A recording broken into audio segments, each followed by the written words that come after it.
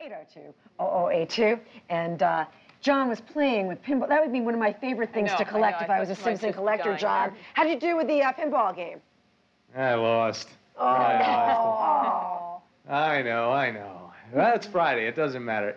Claire, I don't know if you knew this, but the Simpsons are not only national. The Simpsons are happening. The Simpsons are international. We've got stuff here from Mexico. We've got stuff here from England.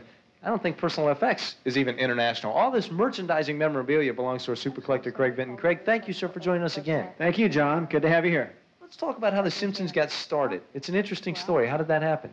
Well, they got started on the Tracey Ullman Show in uh, 1990. They were a little trailer to get people in and out of the uh, commercial, and they were probably only 10 to 15 seconds long in each segment, two to three per show. I guess the guy that created The Simpsons was also working on the Tracey Ullman show. That's how they found him, right? Right, that's right, James Brooks. Okay, now we just mentioned on the show that there was an animation cel that went for a lot amount of, a lot of money, and you've got an animation cel from the show, right? I do, but it's not worth anything near what that is. Well, tell me about this one here. Uh, this is from the uh, s- the show where Bart Simpson took a an FM uh, wireless microphone, dropped the uh, radio down a uh, a well, and started yelling out, "Help! I've fallen down the well!" And the entire town, actually the whole nation, came to the aid of the little boy in the well and had a kind of a "We Are the World" song and the whole deal. You know, it was a complete satire on that that event.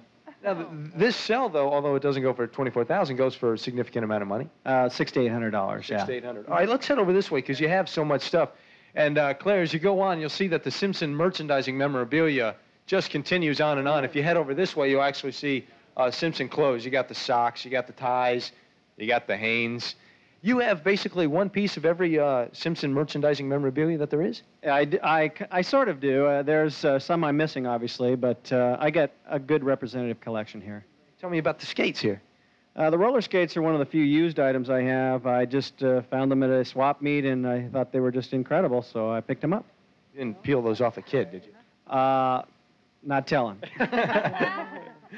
Claire, as you can see, this stuff just goes on and on, and I'm seeing a, what we call, I guess, a cross collectible here. You got the uh, Simpsons cookie jar. That's right. It's a Falstaff uh, cookie jar.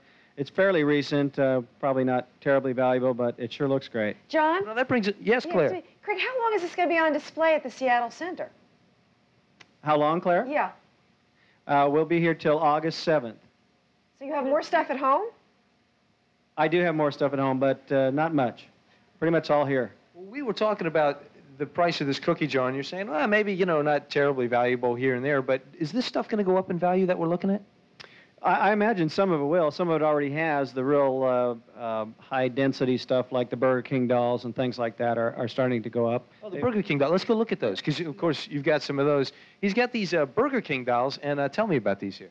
Well, these are the original in package Burger King dolls, and we have uh, one of each and two or three of each sometimes. And this is Krusty the Clown, which was deemed uh, unsuitable for Burger King release, so now it's uh, only available if you can find it as a, uh, a closeout item somewhere, something like that. Unsuitable because of his crusty personality? Well, yes, and the cartoons therein.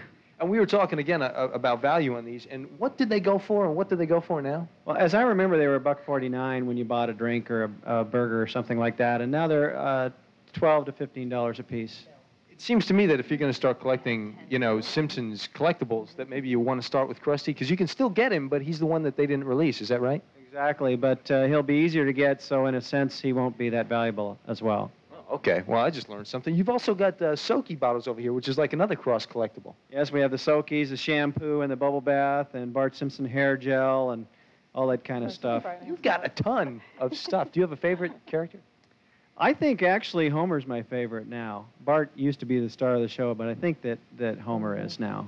I can't resist the temptation to almost get too deep on this, but they kind of ref- reflect our society, don't they, The Simpsons? Exactly. They're very topical. They try and stay with uh, uh, newsworthy topics. Uh, you, you get them maybe six months down the line, but uh, yeah, they're great. Now, they didn't start out as a comic book character, but you've got all the uh, comics here. That's right. The comics started coming out in '91.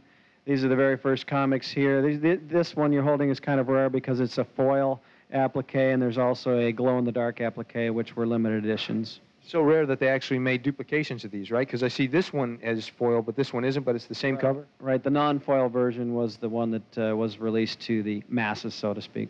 Can this be gotten, or is this very rare? I would imagine you can get it. I, I'm not too into the cl- uh, the comic book part of it, so. All right, well, let, let's head over this way and tell me about this thing. Well, this is the Simpsons arcade game, the video game, and of course you were already on the pinball game. Uh, this four people can play, and each person takes the uh, character, whether it's uh, Marge or Homer or Bart or Lisa. Craig, this is certainly a collection that you can just enjoy, even like by yourself. Isn't that right? I love it. I play the games all the time. We have battles in my basement. Thank you for having us. Thank really you. appreciate it. Coming to see us. Really We've had a good time. Yeah, Uh, yeah. John, yeah, I it's think been Judith it's been our a pleasure. question for Craig.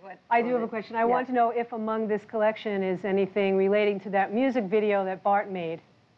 Yes, I have the music video, the album, Mm-hmm. and uh, all the episodes. Go ahead, ask another one. He's good. There's Yeah, actually uh, more music, more music coming out too, right? There's uh, rumored to be a new album out coming out called the Yellow Album. The Yellow Album. And John, I'm well, you heard it here first. I'm glad to know if you need any hair gel, you know where to go. You're in the right place. You know, That's right. There's Simpsons hair gel. Thank you so much for sharing your collection with us. And how interesting that it's on display. Yeah, I that's mean, fascinating. The Yeah, public can that's come and see it as well. That's very nice. So, um, coming up next, one of your favorite departments, probably yours as well, Judith. Absolutely.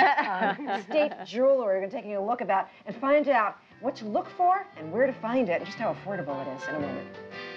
No.